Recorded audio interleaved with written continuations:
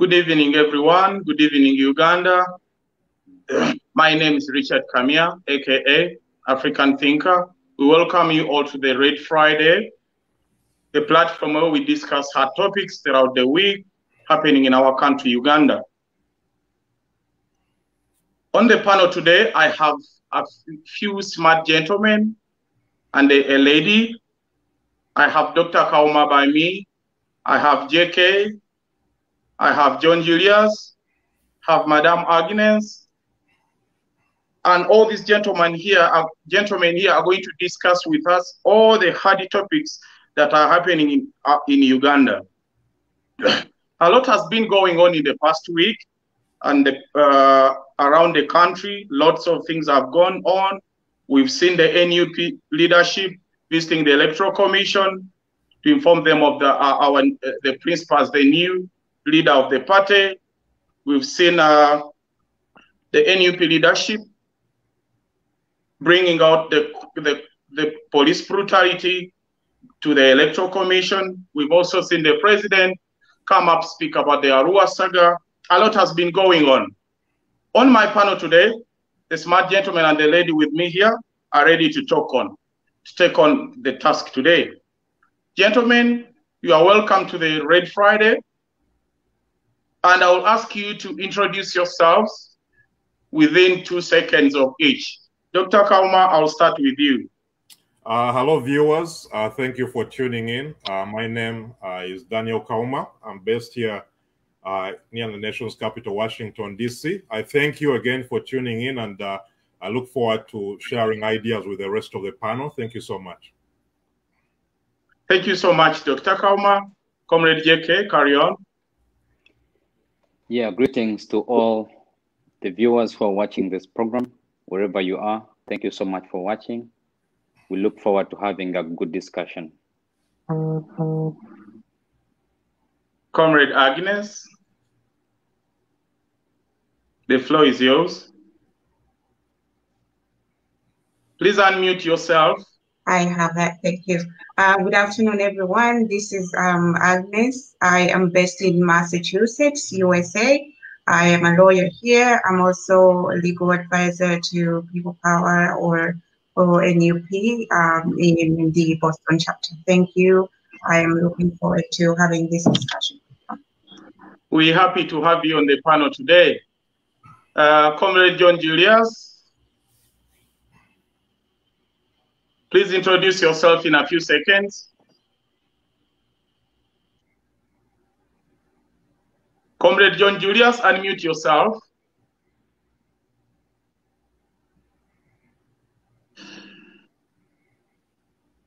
Oh, okay. I guess uh, he's going to sort out his uh, speaker. I think he can't hear us, Comrade John Julius, but we can see you. Okay. As I've mentioned above, a lot has been going on in the country, and we'll kick off with what has been happening of recent. Recently, we saw the principal in Mbale suing the state on having been blocked from attending a radio station in that area.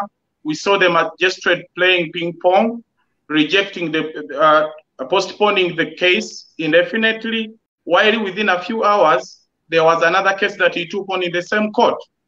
Comrade uh, Dan Kauma, what is your take on that?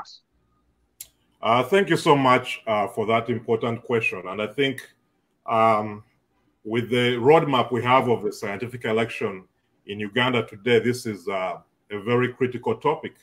And I want to look at it uh, from two angles. Uh, the first angle is why is NRM government and Museveni doing what they are doing in terms of suffocating the opposition, in terms of accessing media, as we saw happen in Mbale? That's the first question I want to address. And and secondly, I want to think about I want us to think about if this is a good strategic move for NUP to challenge what the law enforcement is doing in the courts. Now, if you look at the first question, um, whenever you run for president in Uganda, as Honorable Kyagulanyi is doing, uh, you are not only challenging Yoweri Kaguta Museveni, you are challenging the state. Uh, so what NRM does, they weaponize every institution and organ in Uganda. Uh, for instance, the Ministry of Health has been weaponized.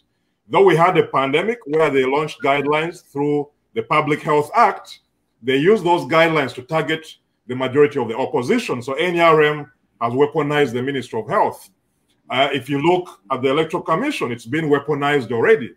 Uh, not only did Museveni dismiss eight members of the Electoral Commission, but they have also influenced the election guidelines by changing it halfway down the road. Uh, if you look at the police, the police is being used to target majority of opposition. If you look at parliament, they're using parliament not only to pass supplementary budgets, which are funding what NRM is doing on the ground at the moment, uh, but they're also willing to pass any laws that need to be done, like extending the presidential age limits. So every aspect of NRM government and our country has been weaponized to challenge any opposition leaders. And Honorable Kyagulanyi at the moment is facing challenges from not only Museveni, but the state. So when you look at the issue of, our, of, of Mbale at the moment, it brings to the forefront not only the judiciary, but law enforcement. Now, why is Museveni doing what they're doing? NRM does not want to have a principled argument in the coming election. They don't want to discuss policy because they know if you talk about the economy, Ugandans are going to remember that 40% of the youth are unemployed. They know that if you're going to discuss economic opportunities in Uganda today, we have 1.5 million Ugandans living abroad or seeking opportunities abroad since Museveni took power. So we don't have economic opportunities to fund to, to employ all Ugandans at the moment. They don't want to have an argument about the healthcare system in Uganda because at the moment we are losing 400 Ugandans to malaria each and every day. If you look at our public hospitals like Mulago Hospital, the government is funding each Ugandan who goes to a public hospital 3,000 shillings per month. Think about it 3,000 shillings. So NRM does not want to have an argument about the economy. They don't want to have an argument about what's happening to the healthcare system in Uganda today, especially the way they have weaponized COVID 19. And they also don't want to have any argument about our institutions such as agriculture, agriculture sector, where we fund, we're the second least funded agriculture sector in Africa today, yet we're supposed to be the breadbasket uh, of Africa. So NRM wants to focus on distractions, and the Mbale saga is a distraction. Uh, if you look at the other distractions we have had, first they challenged the beret. They said you cannot wear the beret legally. Then they challenged the red color. They said it belonged to UPC. After that, they challenged NUP. They said it was acquired illegally. Now they're promoting the Mabirizi story. And every day there's something which they are throwing to the opposition.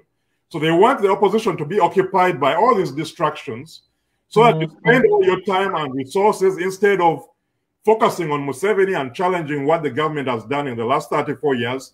They want the opposition to be carried away, uh, bailing out young people who are arrested every day, uh, going to court to challenge all the issues happening right now at the moment. So that's the reason why they're doing what they're doing in, in Mbale. Now, is it the right strategy to challenge it, to challenge them in court? And I think it's very crucial on two fronts. One, it's important to set a precedent if our judiciary is going to uphold the law.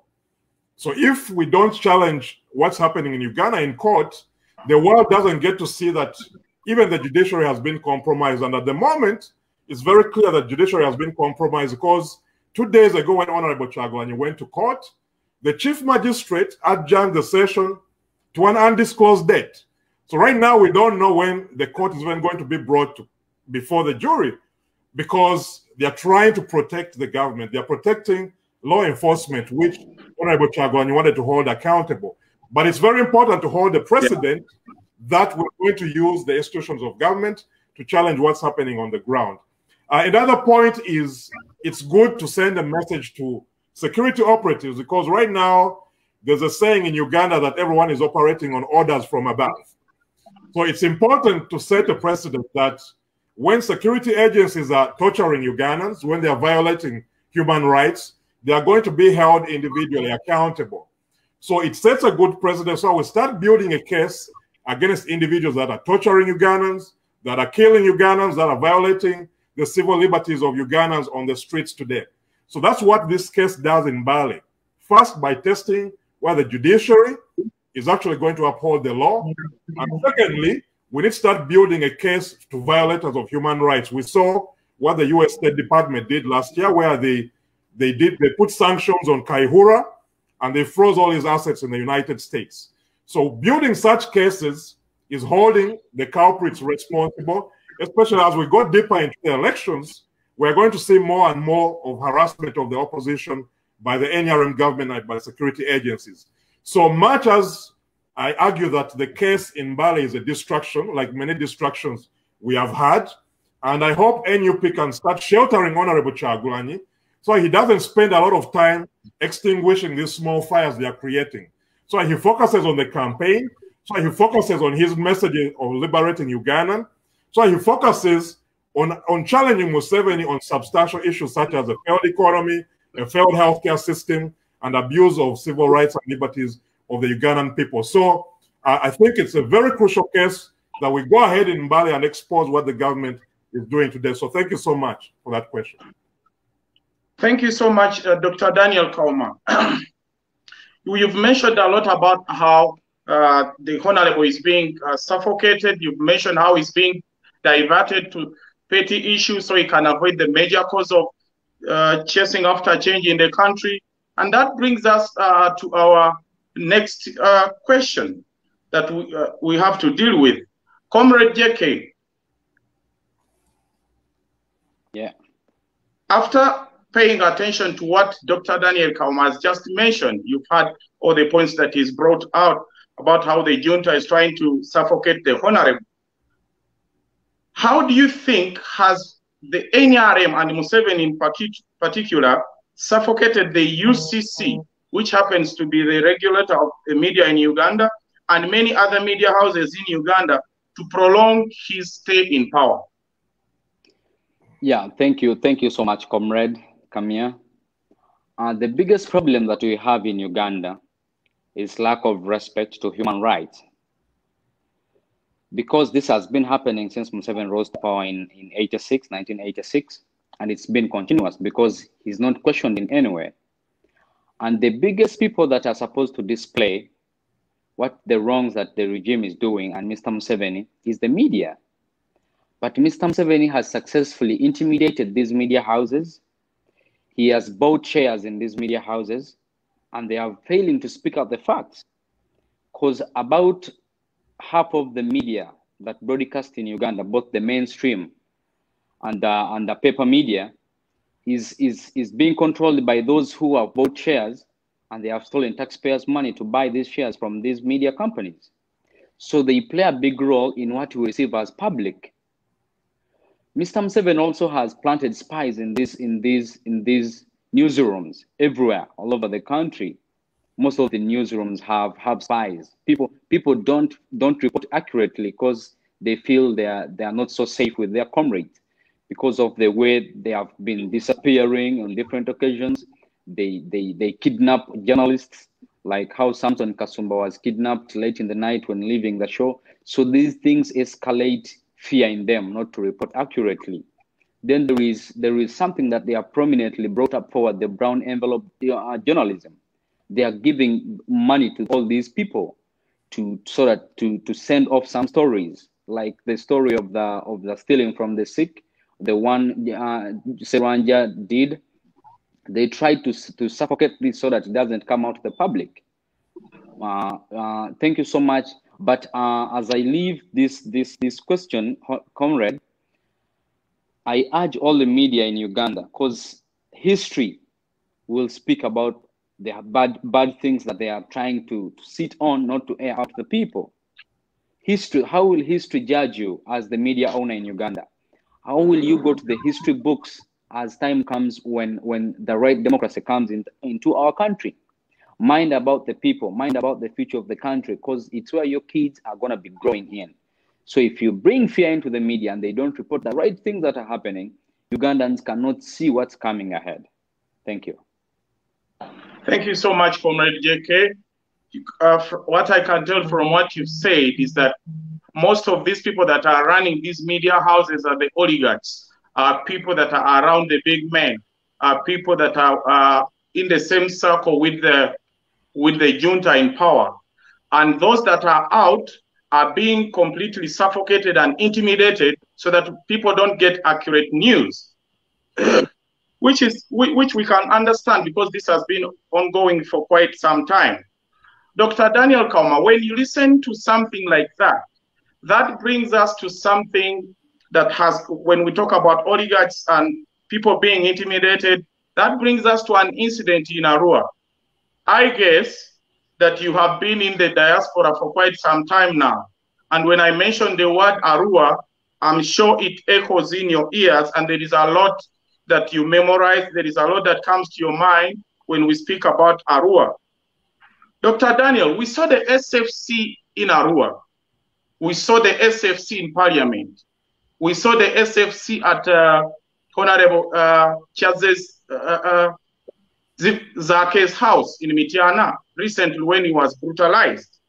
Now, uh, Dr. Daniel Kauma, when you pay attention recently to what the president has been able to say to the media while he,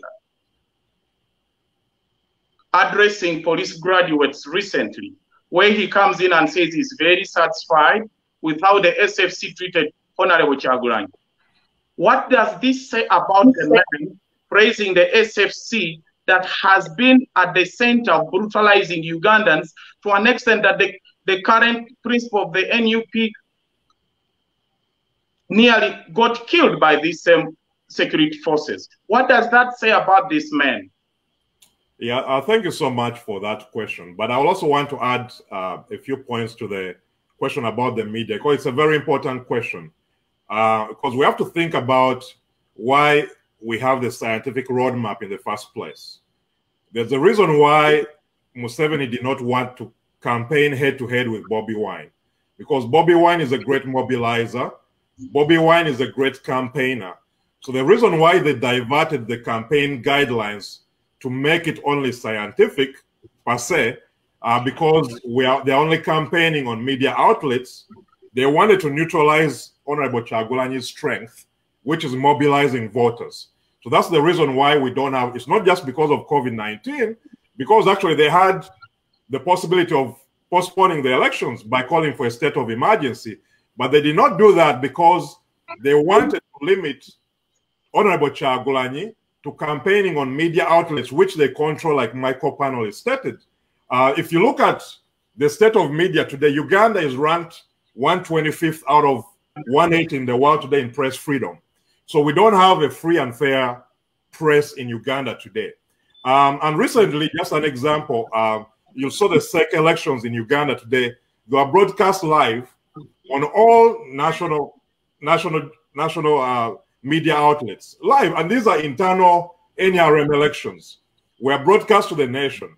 So if you look at 80% of the coverage since the election roadmap was rolled out, 80% of the coverage has been going towards NRM and the opposition.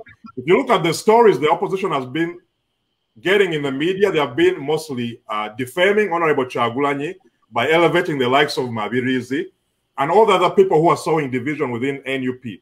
So NRM is playing a strategic game because they know they control the media, like my co-panelist mentioned, through the UCC.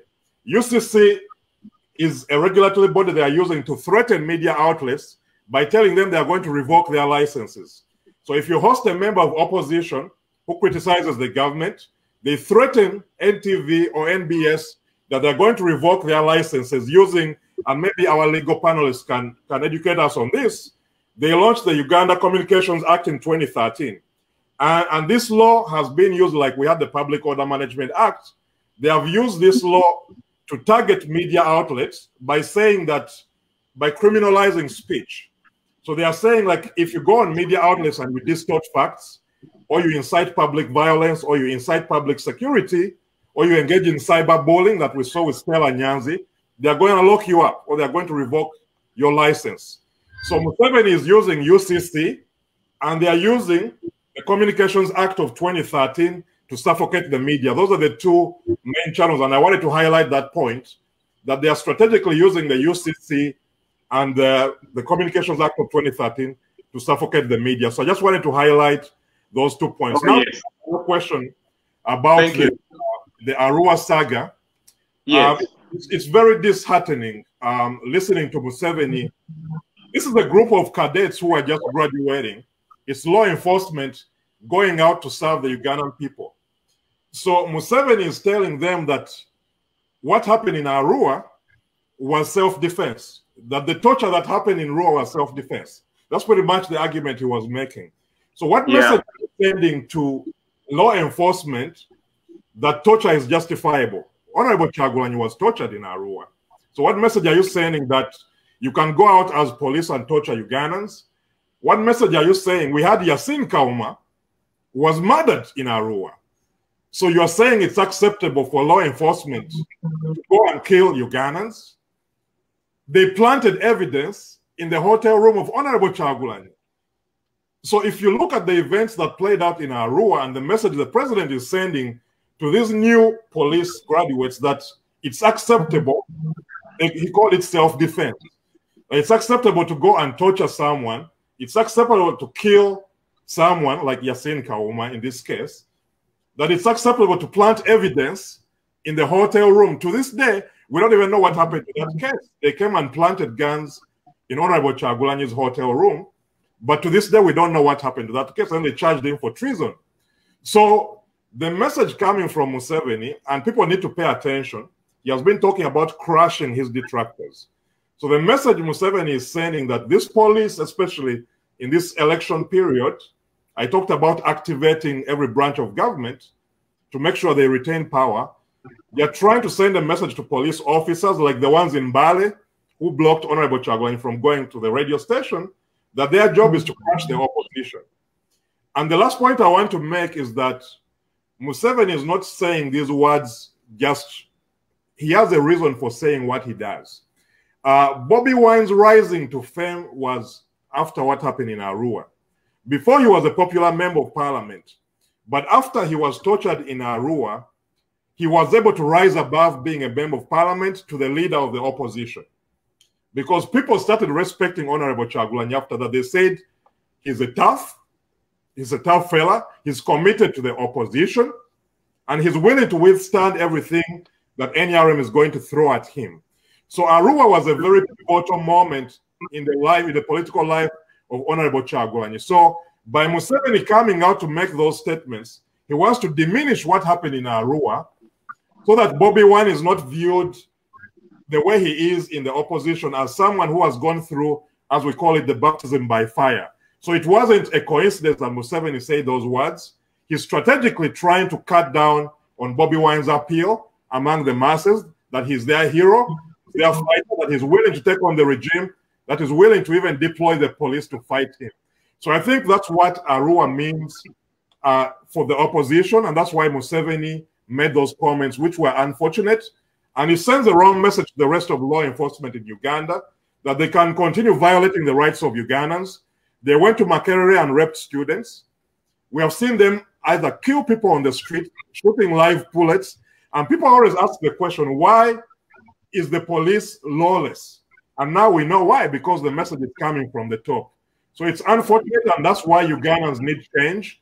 That's why we need a civilian in the state house, because a civilian is going to look at solving Uganda's problems, not by using the military, not by using police, but mobilizing Ugandans to develop their country, to fight for injustice, and making sure there's opportunity for everyone. Thank you so much for that question. Thank you so much, Dr. Daniel Kauma. You have really illustrated how the, the dictator is using his power to be able to suppress everything that the, the, the and people power are trying to do, to be able to convince the security forces like they belong to himself, trying to ridicule everything that is going on in the country and uttering statements that are basically disrespecting the law, democracy, and making the police forces think that they can do as the president says. Thank you so much for that. And that brings us to, to something different. It's not necessarily different, but something that speaks about our female counterparts in the struggle and women in Uganda in general. Comrade JK, we have seen lots of women faces in the NRM regime. We have seen so many women from the 17 days to the Kadagas to the uh, Specioza Kazibwe, so many women in the NRM regime. Uh, doc, like Dr. Cheng, the Minister of Health, and so many others, as you know. Comrade JK, how do you think has the NRM and Museveni in particular disrespected the women of Uganda and the women, specifically the women in the NRM government, to overstay in power? We are uh, uh, before you carry on that that question. I want to be able to say to you that we have got a lot of women that are working for this movement.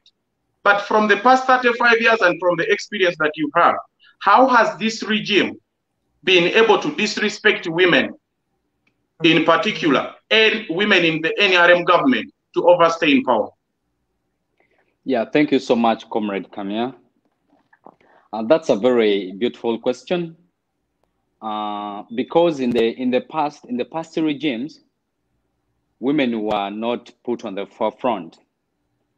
Women were were said that they're supposed to be cooking, they're supposed to be behind behind uh, the the the front line. So what Mr. Museveni did, he brought this rhetoric that women are supposed to be on the forefront, and unknowing that he's going to be manipulating them. Fine, we have very intelligent people, and very intelligent women in Uganda, but Museveni ends up manipulating them. You know, in a dictatorship, uh, whenever the dictators age and get to that stage, they feel they should be surround, surrounding themselves with women to, to be safe.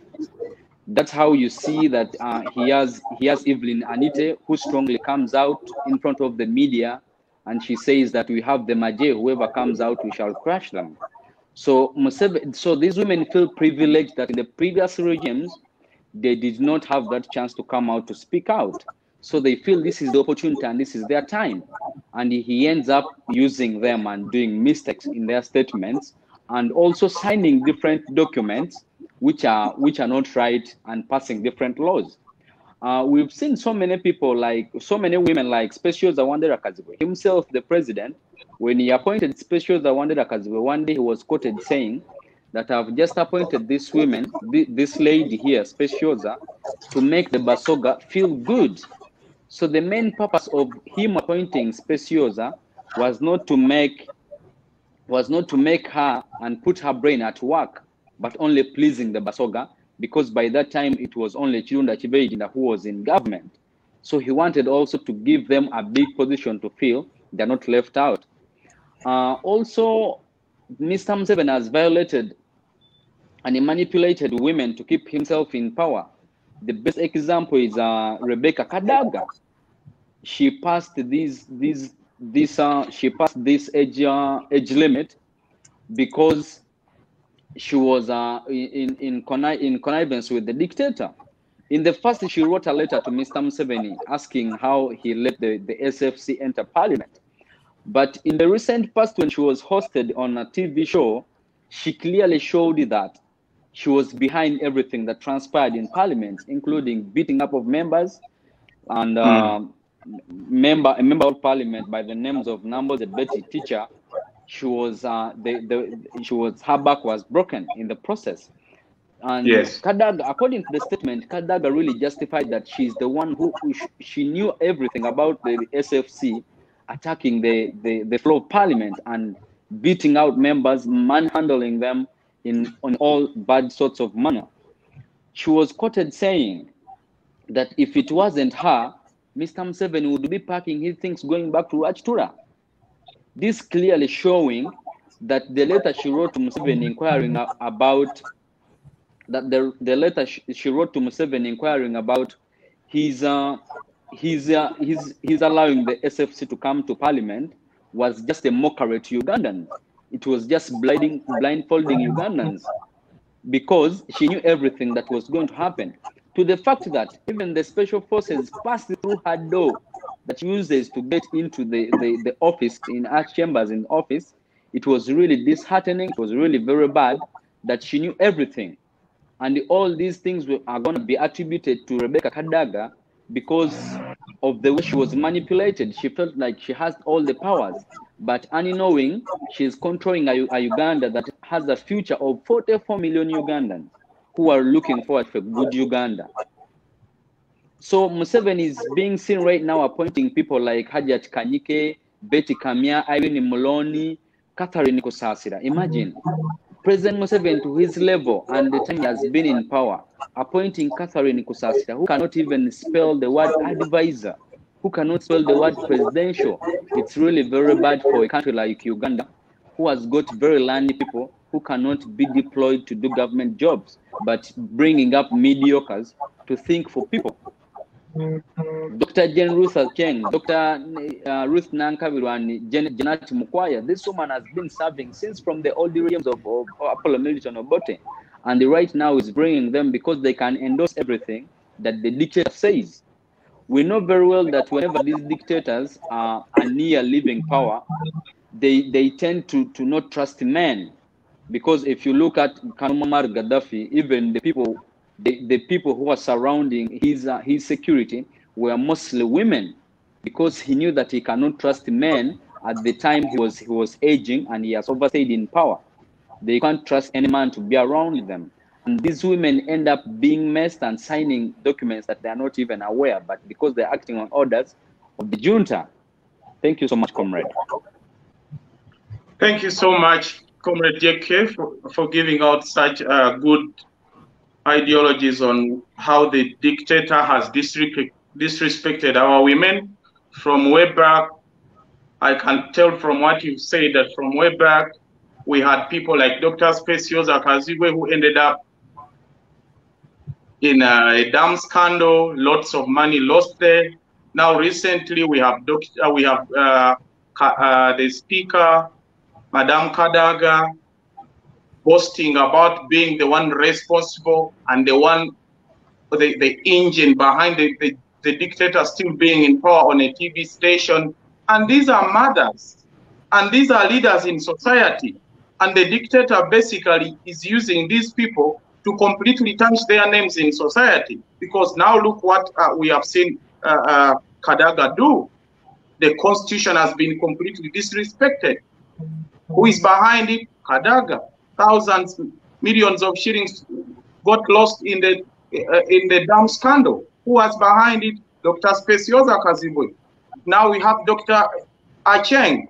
Uh, lots of money that was donated to COVID is nowhere to be seen. Who is leading this? Dr. Acheng. So you are basically saying that the president is being so is is tarnishing these women's images in society Yet these people could have been very, very, very, very influential and good citizens to a country like Uganda. Thank you so much for that uh, great analysis. And that brings us to a follow-up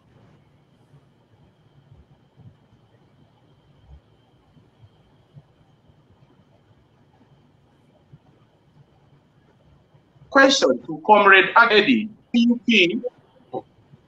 Comrade Agnes, how has the NUP leadership so far been different from the current NRM regime when it comes to women? Please take it on from there. Uh, thank you very much. Um, so um, to show the distinction, I would have to, to point out some of the things that the NRM has been doing um, with the women. The NRM is a, a regime um, or um, or a government that has been based on uh, rewarding. Um, it's um, the fighters or the rebels that um, overtook power in 1986 in Uganda. So um, if you look at most of the people who fought in that um, guerrilla war, those were men. So the NRM came in power with, with uh, a group of men, and the government has been uh, formed in on on the basis of rewarding those men with uh, different uh, ministries or different uh, sectors where they can um, recoup a lot of money and steal money from the, the Ugandan people. So where that um, where I'm taking this is that that the NRM as a government has very little room for women based on the fact that the people who fought and took over power were mostly men. So when you look at the formation of the NRM government, it's formed by men. And every time there is a, a, woman in, in the NRM government, uh, that woman can, can be traced. Most of the time, that woman can be traced to, to some origin in connection, whether directly or indirectly, to um, to the guerrilla war um, that captured power in Uganda in 1986. Um, so the NRM has brought in very little in terms of diversity, in terms of gender diversity. Um, and every woman who has come in from the outside um, to, to enter government in the NRM regime, during the NRM regime, has been humiliated um, in the end because the NRM uses, or rather Museveni uses, those women as puppets to, to do his dirty work. He does not respect them as as colleagues as as he should. Um, we have seen very uh, brilliant women, uh, naming um, Day. She was a brilliant woman. She came to um, take away corruption from the country. She did a lot of good work. And Museveni used that very intelligent woman to do his dirty work. And he started uh, using her to, to do to um, do his best. And she got humiliated that she had to leave the country. We we can look at um, Jennifer Musisi of, of most recent. Um, he brought Jennifer Musisi. She's a brilliant woman. She's very smart and capable as a woman, just like um, and when she brought when he brought her into into Kampala City Council to clean up the city, she was capable of doing it, but he controlled and micromanaged her to a way that she could not use her brain and think um, and apply her skills and her intelligence to to better the country, but rather Museveni used her to um, to oppress Ugandans and to oppress people who who were um, in the town standing up and rising up against um, against the regime in Kisekka, in the Kisekka market or in the other areas. And so Jennifer Musisi had to also leave the country because again, she, they create a lot of enemies in the process of working for the government that does not respect them as colleagues, but rather as puppets that are put in the government to, to, to do the, the dirty work. Um, when you look at um, the, the way that the NRM views women is, is almost in a way that they're subservient or they're inferior or in a way that they're there to, to they're there to, to do the, the men's work or to do the work for the men and command um, the men, meaning the, the men in the NRM and Museveni in particular, to do the work as told and not to apply their skills and their education and their intelligence to better the country. Um, when we look at things like that, and uh, there's a lot, of, there is a long list of women who have um, gone through that kind of um, of thing with the regime. When we look at uh, when we compare that with people power and um, uh, most recently NUP, we can see that um, that the NUP is bringing up women and offering them positions of leadership, letting them sit on the table and speak freely and not sub, um, subduing them or putting them in positions of inferiority or um, or making them feel unwelcome to, to participate or to be. If you look at a lot of um, a lot of positions in the NUP leadership, there's a lot. There are a lot of women.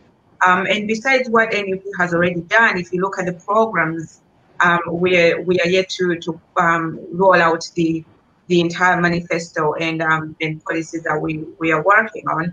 But uh, if you look at the policies that we have, these are policies that are aimed at respecting girls and women um, the same way that men and boys are respected. Um, and so, you know, these are things that there is a lot that has been done by the regime. 35 years um, in power has caused a lot of damage um, to girls from when they're in school um, one of the examples is um, by adding a point to a girl when when children are rolling out of uh, getting out of high school to go to to um, the university, a girl gets an extra point um, than a boy, um, and that in a way is creating um, a mentality among girls and boys, little girls, and as well as boys that that are colleagues that the girls are otherwise not capable of achieving. The girls are not uh, your equal. The girls need more more help or more uplifting, or we need to abet them to get to a where we want them. And that has created um, um, inequality in schools, in the workplace, where um, in promotions, in the corporate world in Uganda, the women are not treated as equals. They're not, it has cascaded from the public sector to the private sector that the women are not really treated as equals. And that is damage that has been done by the NRM from when children are younger or when people are dealing with each other. That in the corporate world right now, women um, women are hired, but it's very hard to find them rising and, and achieving their potential and um, and leading corporations or leading companies or taking up um, big roles as they're supposed to because they have been um, conditioned to think they're they're not as capable or they're not as good, and the boys who are their colleagues have been um, conditioned to think the same way. So when you fight, when you look at it, it has gone everywhere, and that is all work that the NUP has to to take up and clean up, and it's going to take time, but we are definitely on it, um, and uh, we we definitely can do it. Thank you. Thank you so much, Comrade Agnes, for that great input. It's so good to hear a lady speak about how the regime has been able to abuse our women and how the NUP is really doing its best to be able to, to stand up with the women, to show love to the women, to be able to make women realize their dreams, achieve their full potential. And I think that is the kind of leadership we need. That's the kind of government we're looking for. Just recently, you've seen the principal celebrating his anniversary with his wife for 19 years. He said he's loved her the same. We need a president that has that heart, the love for women, the respect for women. If for 19 years we've had a 38 year old man loving his woman unconditionally, then you surely can rely on such a man to say, our women will be safe. Thank you so much. And that brings us to our next uh, discussion. And here we are going to talk about the grease, the, the, the, the, the lubricant that runs the struggle, and that is the money. Just recently, just this week, we saw the principal unveiling uh, uh, the fundraising campaign for the movement as we head uh, towards the elections. We have seen the slogans of Muda Muda, which is that which is in shilling. We see a lot of fundraisings in the diaspora. We have seen uh, uh, many people donating to the People Power website and the number that gets this, that is the names of Daniel wrote. We've seen all this happening. Comrade Abiri, what do you think of the fact that this week the principal and the NUP leadership have started to launch fundraising, which is happening all over the world? Please take us through what you think is how good this is going to be for the movement, how you think how well you think the diaspora is doing when it comes to this fundraising, and for what good you think this is. Please take us through that briefly. Uh, thank you, Comrade uh, African Thinker, and thank you, fellow panelists. I'm glad to be in this show with you. Uh, first of all, uh, in today's politics, finances are very fundamental uh, I yes. speak this uh, with more authority. I am an accountant by profession. Uh, if you look at the politics of Uganda, the politics of Uganda, uh, despite the fact that uh, politics is run by finances, it has also been abused financially. In other words, uh, the regime uses national resources uh, to run its political campaigns. And more so, they make the situation worse by even bribing voters. Now, that gives us, as we as NUP, that gives us a very steep hill to, cut, to, to run. So that's why we it's very critical for us uh, to fundraise now, why is NUP fundraising funds for elections? We are not fundraising funds, first of all, uh, to bribe anyone. Uh, but as I mentioned before, these campaigns are run by finances. Uh, we need to get our candidates on radio stations uh, to talk to the people. We need our candidates to traverse the country. We need our candidates to be advertised in different media outlets, and all this requires finances. We have the state arresting our comrades uh, just because they are NUP uh, to, intimidate them. So we need finances to help them legally to, to get out of jails and all sorts of funny charges that have been incremented on them. So that will that being said, uh, the principal uh, who is Honorable Robert Kyagulanyi, our next president, uh, launched uh, a massive fundraising campaign uh, recently. The aim is to fulfill those obligations that I mentioned. And so in this regard, uh, we as the diaspora, we are very fundamental in this role. We have a big role to play. So, for example, in Texas, uh, sorry, for example, in the US, we agreed that we are going to buy each card at $50 or more. It's not that because uh, the, the, the diaspora has a lot of money to splash around, but that is how important we view this struggle. And also, uh, we, other countries, uh, other continents like Australia, Europe, uh, you go to Asia, all these other continents and countries are also playing the same role. Reason being that uh, Robert Kyagulanyi and the NUP do not have the capacity to match uh, the state-run elections of Yoweri Kaguta Museveni. Uh, first of all, even if we were to fundraise the funds from internally from Uganda, there's a lot of intimidation, there's a lot of bribery. Any wealthy person or any well-to-do person that comes up to support Robert Kyagulanyi, uh, their businesses are suffocated. And so because of such intimidations, uh, it's hard for Robert Kyagulanyi to fundraise the funds internally. So this is where the diaspora is very critical and my humble plea to all NUP members in the diaspora, please let's fundraise for these elections.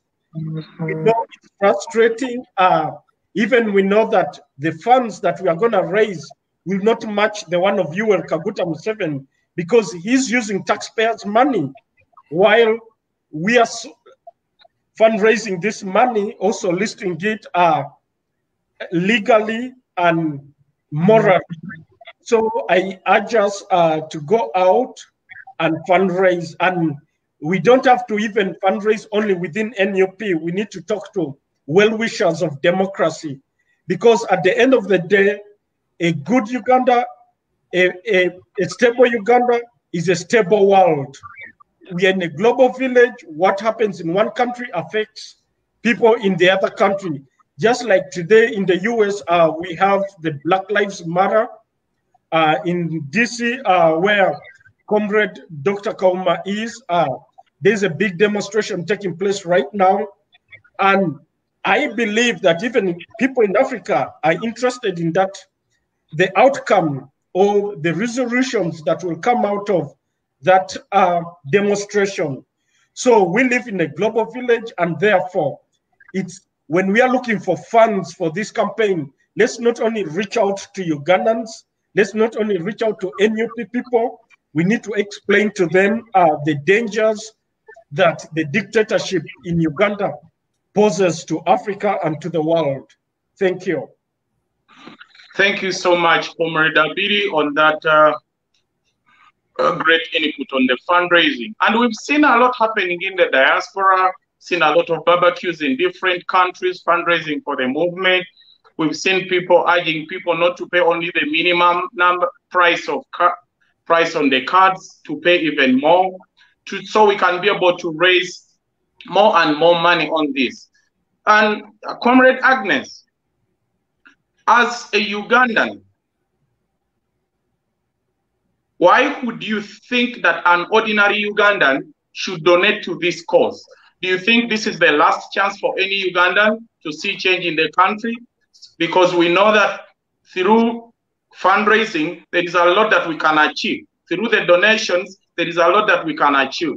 As a Ugandan, why would you encourage an an ordinary Ugandan to donate to this cause, Comrade Agnes? Mm-hmm.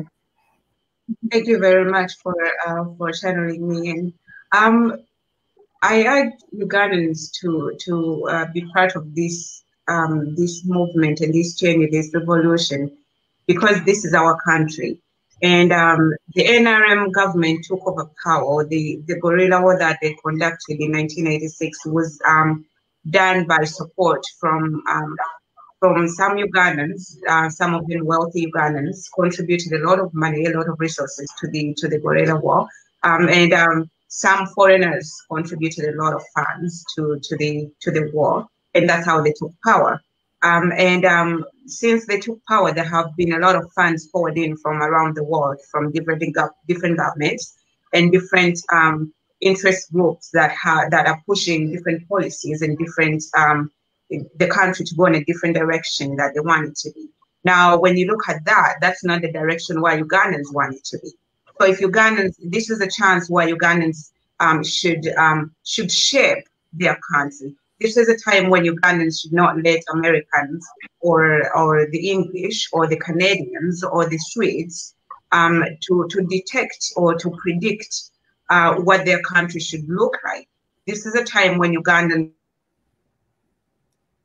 who have one shilling, one hundred shillings or one thousand or whatever the case, to to offer that so that their country is not sold just like the previous government has done when uh, when anyone gives you money, they're expecting something in return.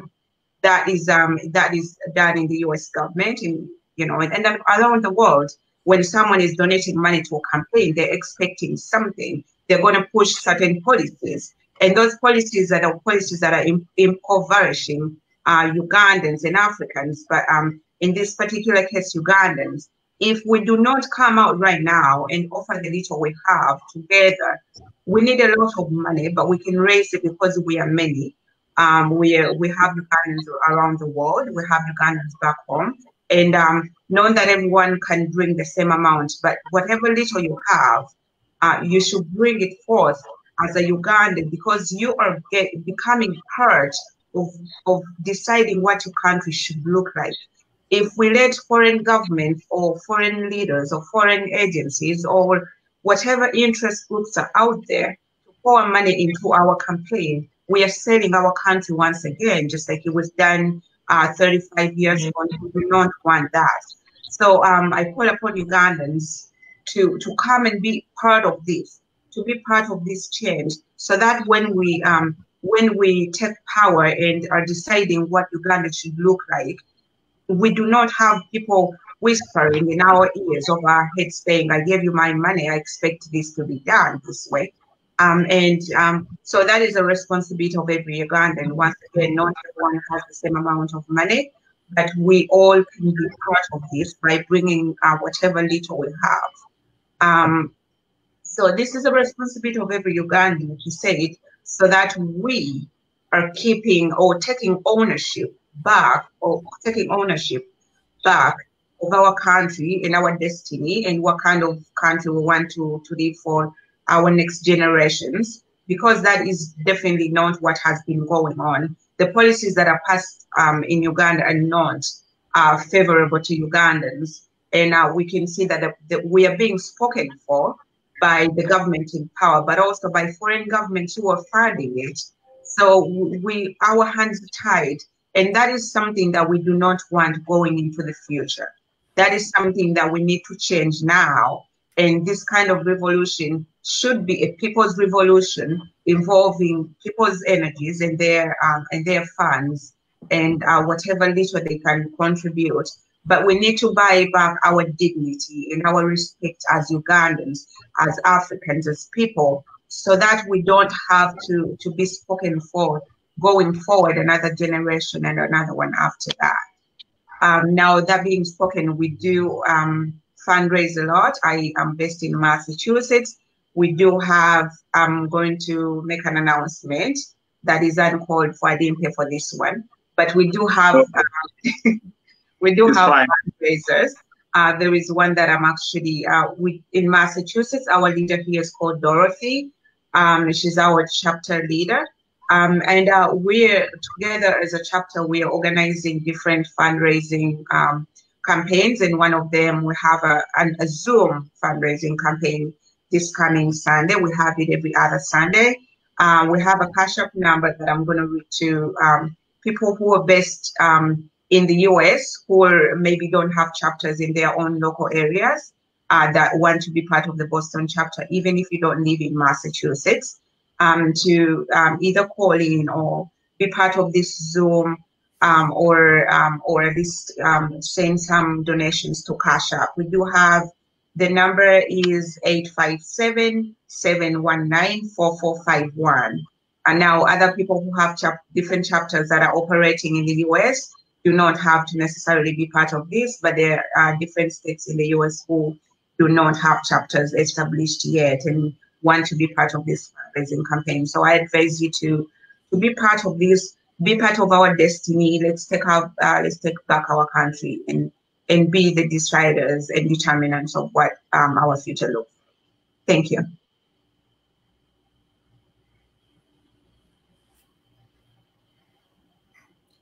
Thank you so much for those points. Looks like we have uh, we have lost our host temporarily, but uh, but I echo uh, the views uh, in the time being of uh, the rest of the comrades about the uh, the importance of fundraising, especially when we witness what's happening on the ground in Uganda at the moment. I think, as as most of you have noticed, we have seen candidates from NRM party. They are going across the country with bags of 500 shilling coins. You can imagine.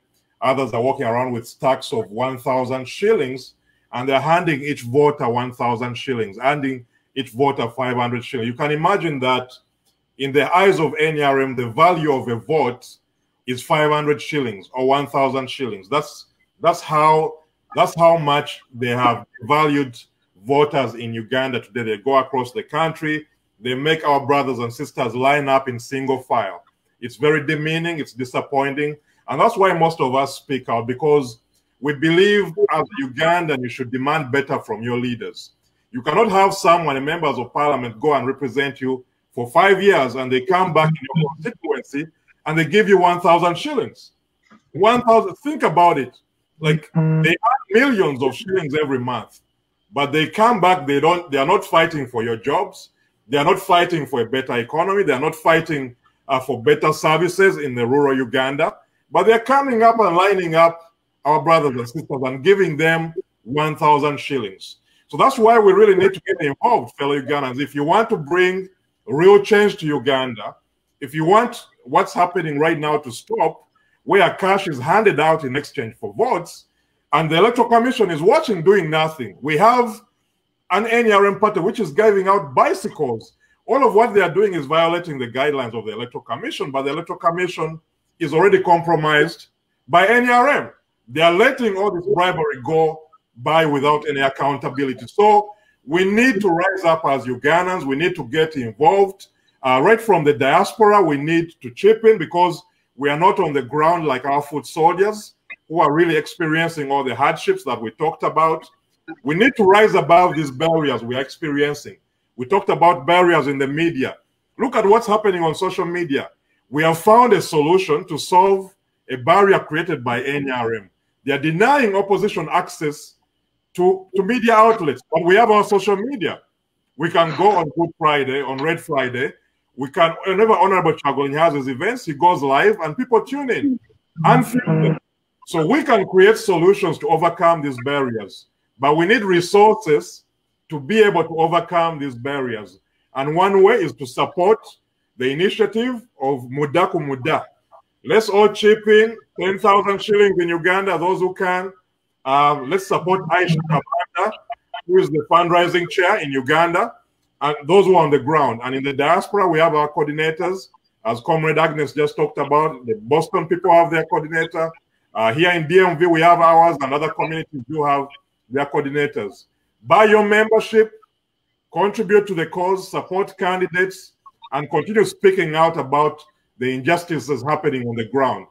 The more we speak out, the more change is going to happen in Uganda. But it's not going to happen if we stay seated. We cannot let NRM go and buy votes for 1,000 shillings. Our voters deserve better. Our people deserve better. As people power, as NUP, we have to go to our voters and tell them that they have the ability to demand more from their government. The government cannot devalue our people for 34 years, that they are willing to throw them coins instead of better education, instead of better health care, instead of better job opportunities, where we have 1.5 million Ugandans fleeing the country to seek jobs elsewhere. Most of us would rather be in Uganda. I work in healthcare. I'd rather be working at Mulago right now, or I'd rather be working at a hospital in my village in Gomba instead of being here in the diaspora. But because our professionals lack opportunity, that's why many make the hard decision to go to the diaspora, and many in Uganda today lack the same opportunities. So we have to go to the mindset with the voters that we are not going to give them the fish which they can feed for on one day, but we are going to give them an occupation. We are giving to give them a net where they can fish for themselves for a lifetime. That's the mm-hmm. attitude that opposition we should have when we are campaigning, when we are convincing Ugandans that we have the better message, we have a better agenda, and we have a better approach that is going to fight for every Ugandan, irrespective of your tribe, irrespective of where you come from in Uganda. We want a Uganda which is diverse. Like my comrade Abili mentioned today, 55th anniversary of uh, the Martin Luther King Jr. speech we, we have all heard of, uh, the I Have a Dream speech. So that spirit of activism is the same spirit we want to bring to Uganda so that we don't judge our people because of their tribe. We don't judge them uh, because of their color or because of their re religion, but rather we judge them uh, by their content, by what they bring to the table. Uh, so we want every Ugandan to be involved. So again, I also echo my uh, co-panelist uh, message. Let's chip in. Let's support each other. Let's pay for our membership because we are guaranteed to win in 2021. Thank you so much, moderator. And I apologize for cutting in when you when you disappeared for a second. Thank you so much for rescuing me. I nearly got swallowed up. And speaking about the fundraising, that brings me to what the principal always says in vernacular, where he says, like he's saying, do what you can.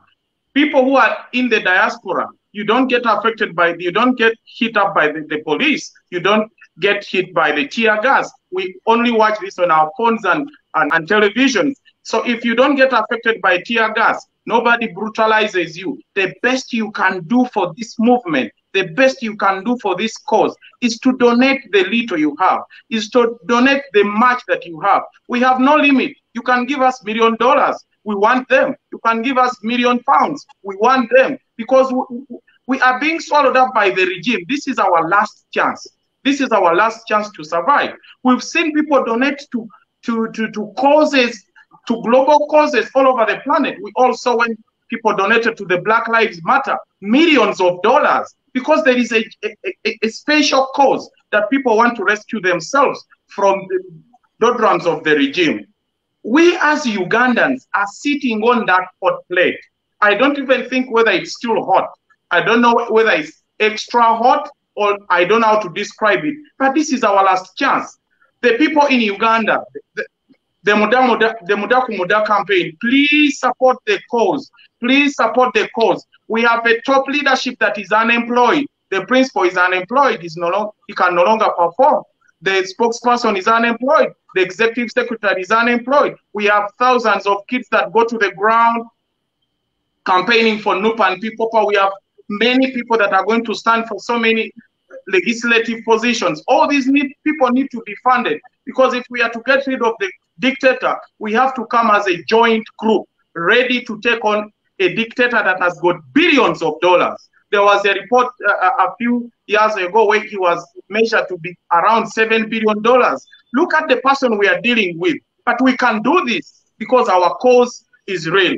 And I ask all Ugandans to donate to www.peoplepower.org.ug. I ask all Ugandans to donate to the uh, uh, to this to the Daniel Oyoret number on mobile money that is everywhere on the principal's number, on, on the principal's page, on the People Power Media Center, on the Red Friday, and all over all, all over Facebook.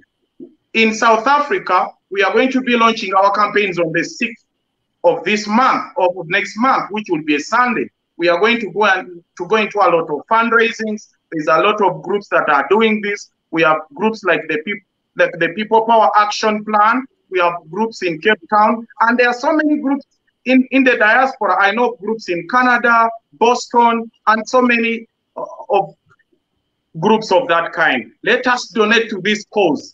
This is the best thing to do. I want to thank you all for having been with us today. Uh, Comrade Dan Dr. Daniel Kauma, Comrade Agnes, Comrade Edward Abidi, you look so smart with that beret. Comrade JK, you were so calm, you were so eloquent, just like Dr. Kauma.